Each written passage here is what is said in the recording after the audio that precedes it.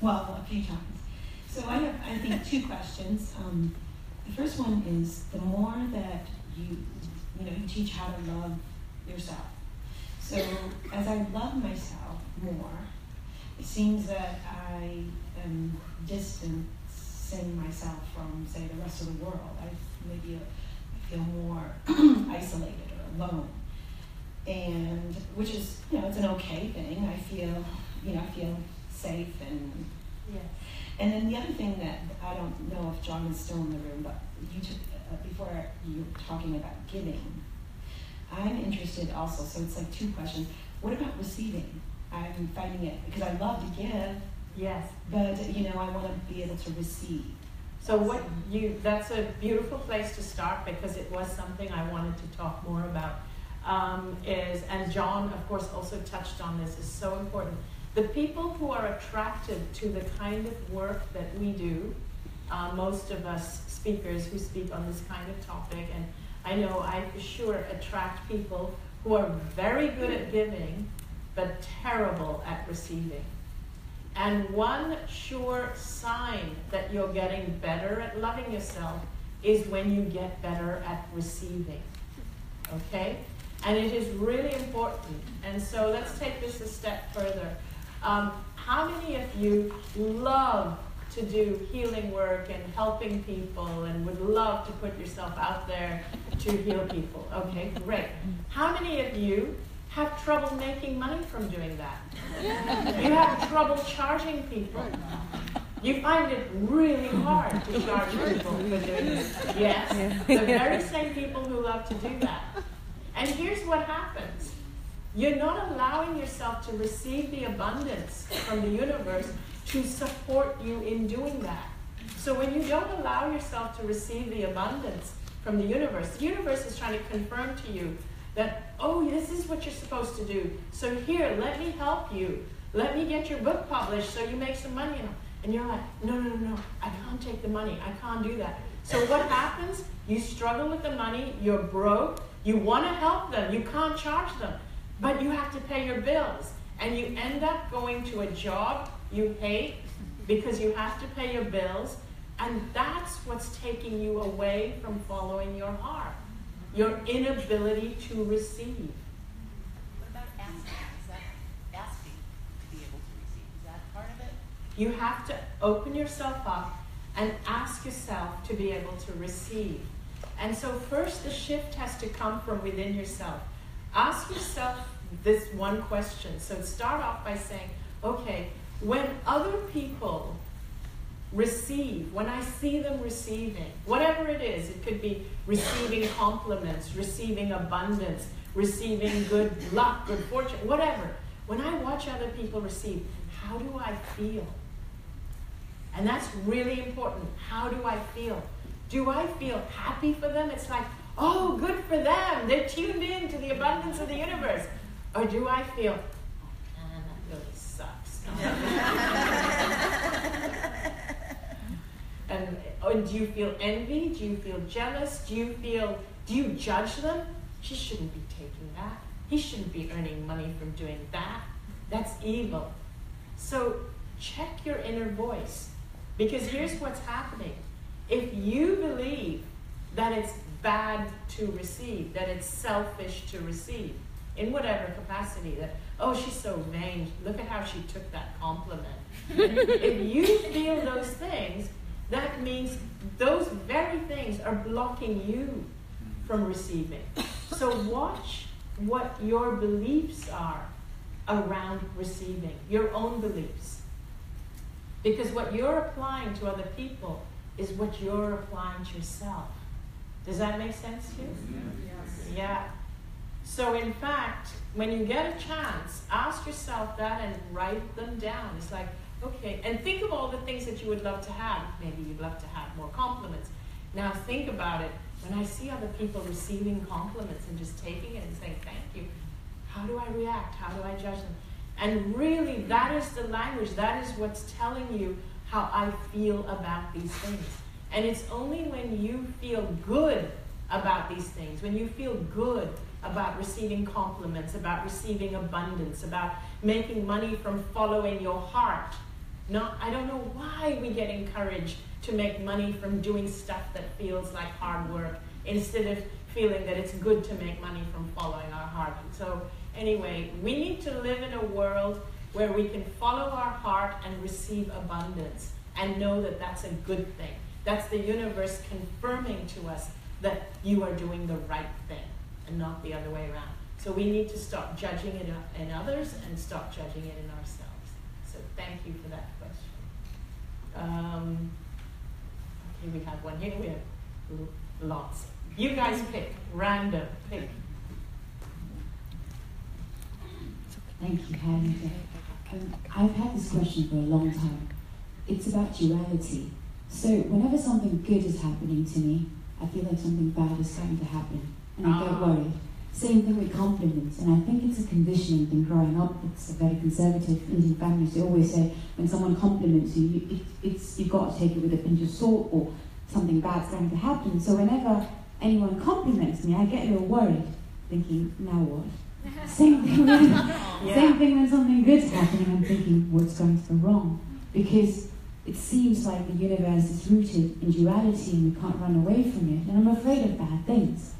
So, in actuality, the universe is on your side. The universe always confirms what you believe. So, you remember yesterday we did the blue and black exercise, and I told you to focus on the blue. And then, when I asked you to close your eyes and I said, oh, oh, Do you remember what in the room was black? And most of you didn't remember anything that was black, and yet there's probably more black in this room than there is blue. So here's what happens it doesn't matter what actually exists out there, but what you experience is what you believe. The universe will always confirm what you believe. So if you believe that we live in a dangerous world, that's what the universe will confirm to you. If you believe that we live in a safe world, that's what will be confirmed to you. That's what you will see evidence of every single day, whatever you believe. So um, I, I live in a world where I believe that not only is the universe safe, but it's also abundant. The universe is safe and the universe is on my side. I also believe that our bodies are smarter than us and that our bodies are always trying to heal us. Even when we have what we call an illness, in, actual, in actuality, it's our body's way of communicating with us and trying to heal us. So the thing to do is to really watch where your beliefs are in your case and and to work with those because what we can do sometimes is without realizing it even when we're doing affirmations and we're doing all the workshops and the classes and reading all the books underneath we may be serving the wrong belief and we don't realize that and so everything we do doesn't seem to be working because there's an underlying belief that's playing against us so the first thing to do is to be aware of your beliefs, which obviously you are. So it is actually, first of all, to be aware. Then the second thing to do to change the beliefs, and this is what I usually tell people to do, is I want you to be aware of your old belief that whatever it is, that something bad is going to happen if someone compliments me. You know, it can be absolutely anything that's unique to you, or the universe is not a safe place, whatever. Just write down the belief that's not serving you, your old belief which no longer serves you. Now I want you to write down the opposite of it, the good, what you want to believe in instead. So whatever it is, um, you know, so it could be, I live in a safe world, I live in a safe universe, um, I'm always protected, or my body is smarter than me and it's always healing me. Put it, put the opposite belief. Now, with that belief, so you move aside the old one, you don't want that, you want to take the new one because the only reason you want to be aware of the old one is so you can create the opposite. Once you created the opposite, you don't want the old one anymore. You can even do a ceremony and light a fire to it or burn it or whatever you want to do. So now you want this new belief and you want to write it on a little piece of paper and you want to carry it around with you. And this is like when I asked you to focus on everything in the room that was blue. You are then going to carry it with you and you are consciously going to find everything in the world, in the universe, in your life that confirms this belief. And you are going to do this for the entire day, and you can do it for the next day. The next day, you can come up with another belief that no longer serves you, that you want to get rid of, and write down its opposite, the positive one that you want to now believe. And it could be anything that I am powerful, that uh, my, my physical body heals easily, whatever it is. And as you go through your day, look for everything that confirms it every day. At least five, but ten. And the way you do this is, for example, um, if it's for your body or whatever, it's really easy to find things that work. You know, everything like, um, oh, look, my, my eyes, they release tears to clean up the dust that's come in. Look how smart my body is. It literally could be anything to remind you of the opposite of the old belief. Or if it's abundance you're looking for, it's like, oh my gosh, look how that dollar bill appeared from somewhere which I didn't know I had. Oh, look how I found this money in this old wallet. Or whatever it is, by consciously spend the day finding things that confirm the new belief and then write those things down as you're finding them. Write them down in your journal and make sure you have at least five. And if you keep doing that, you will reprogram your mind and the whole and you'll realize that it's true that what you focus on is what the universe presents to you. It's what your experience of life will be. That's amazing, thank you. So it's all about belief, it's not so much, it's, it's how we think, how we're conditioning ourselves. Yes, so I want to tell you um, a little analogy which I often use. And like I often speak about the warehouse. When I was in the other realm, um, it was, so first of all, uh, before I went in the other realm, I realized that what life feels like is if you imagine that it's pitch black, it's dark, this room is pitch black, no lights, and all you have is this one tiny little flashlight. And you're shining this flashlight and you're making your way through the world with this one tiny little flashlight. And all you can see is what the beam of this flashlight can shine on. And it's a little flashlight. So you're lighting your path, you're illuminating your path, and every now and then you shine the light up here or here, and every now and then you just you spot something, you know, like like say that lamp hanging off the wall, or you just spot something. Now imagine if one day the lights go on, like these big floodlights go on, and when the lights go on, you realize that you are inside this huge warehouse. And inside this huge warehouse, I mean, it's so huge you can't even see the end of it. And the ceiling is so high you can't even see the top. But it's lined wall to wall with these shelves, like bookcases, shelves, all along all the walls.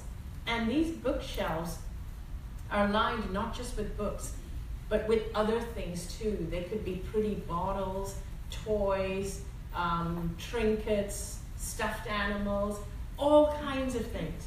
And there are also a few things that are not so beautiful, maybe some scary looking animals and funny things and scary things. And all of these things, this is not what exists in the other realm. This whole thing, this whole warehouse, represents our physical life. In physical life, everything exists the good, the bad, the ugly, the positive, the negative, the not so negative, the not so positive, the amazing, the magical.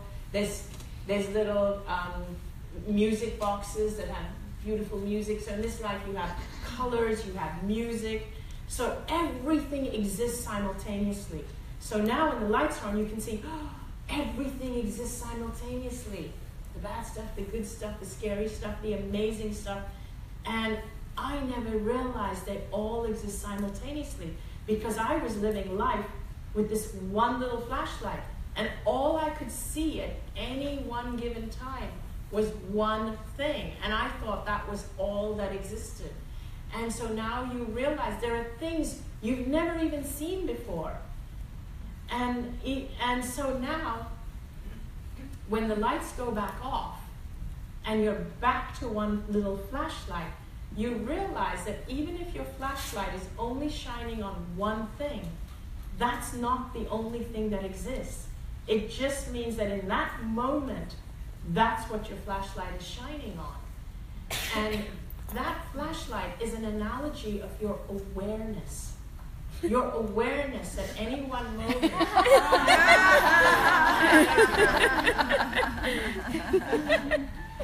so your flashlight is just shining on one thing. Your flashlight is an analogy for your awareness. And if your awareness is focused on lack or scarcity, or if it's focused on illness as opposed to health, health exists simultaneously.